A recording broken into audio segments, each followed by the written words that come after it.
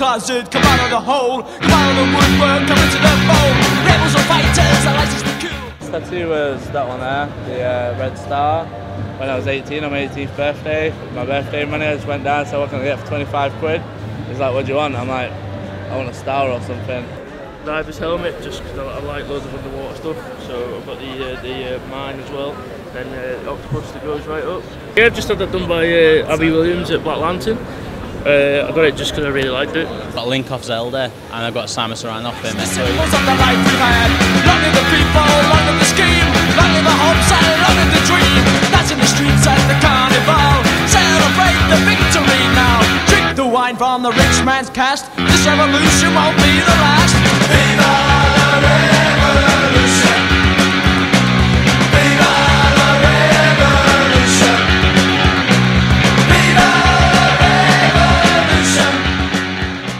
I'm Stefan Peters. Uh, I work at Stigma Tattoo Liverpool. Uh, I've been tattooing for almost eight years.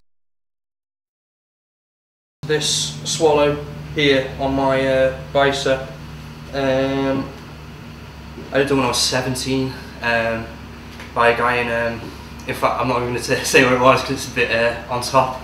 Um, yeah, uh, yeah, it hurt loads, and I was afraid for a whole year and didn't get another one. My first tattoo was this one here, and I was 15 years old, and I skived off school for the day to um, go and see the local tattooist. It was done by a guy called Cliff, and um, I had to get a fake ID made to do it as well. You know what? Probably this little cocktail glass there was the first tattoo I ever got with someone else. Like, uh, I've got a friend called Claire who lives in like Ibiza now, um, and we've both got the same the same thing because we're both like horrible drunks. They're all meaningful in a way because they all remind me about the time when I had them or things that were going on in my life when I had them. After I got my first tattoo, I um, sort of fell in love with the uh, the art form. I always wanted to be a tattooist, but it was never something that I was like, that's something I'll push towards trying to do because I just thought it- it's kind of like, how, how do you get into it? Like, how do you know that you're good enough to, you know, change someone's skin forever? I always knew I kind of wanted to do something art, you know, artsy anyway, and I was doing art in college at the time. One day I got really pissed off with the, the college that I was in and I didn't feel like I was kind of getting anywhere with it and um, decided to go down to a few tattoo studios and see if they'd let me um, just sit in and learn how to do it. The owner of the shop came over and said that um, he sees me in there every day and I'm always in there and would I like to get paid to be in there and um, he offered me a paid apprenticeship um, based on the, the book of drawings that I'd done. when I was 18. Uh, and I got tattooed by uh, my friend Moby um, in a shop in Chester, and um, he actually offered me to like just go and well do an apprenticeship with him.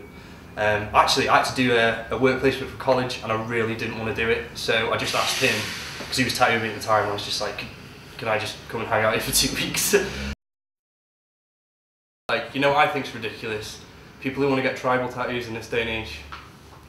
Um, I understand it's you know that's just my opinion and I'll still do it and please no one judge like tribal tattoos based on what I'm saying I'm just a, I'm just a guy today like the, the, the state of tattooing today I think is uh, it's, it's a massive massive mixed bag on one hand there is like a wealth of like amazing tattooing that wasn't going on when I started tattooing The standard is going through the roof, and it is really, really hard to um, keep up with um, these new artists that are coming out.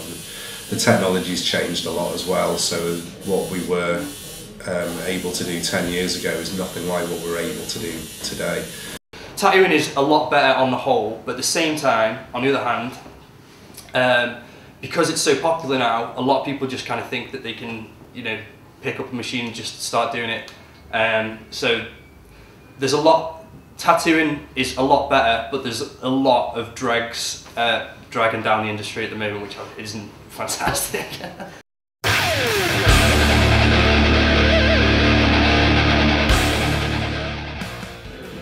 I don't. I don't have a, a deep and meaningful conceptual attachment to like a lot of the tattoos that I get done. Some of them are just there's nothing wrong with having like a, something that's a cool image or whatever that you feel you know, it fits that part of the body or whatever, you know.